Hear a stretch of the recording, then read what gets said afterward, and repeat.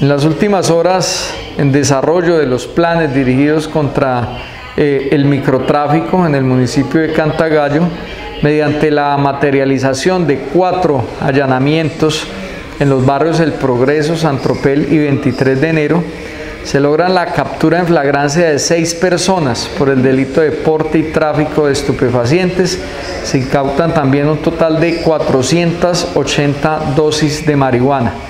Entre los capturados se encuentra alias La Búfala, una persona reincidente en el tema de comercialización de estupefacientes.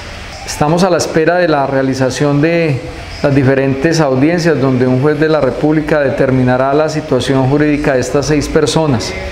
En lo corrido del año en el Departamento de Policía Magdalena Medio han sido capturadas 472 personas por este delito.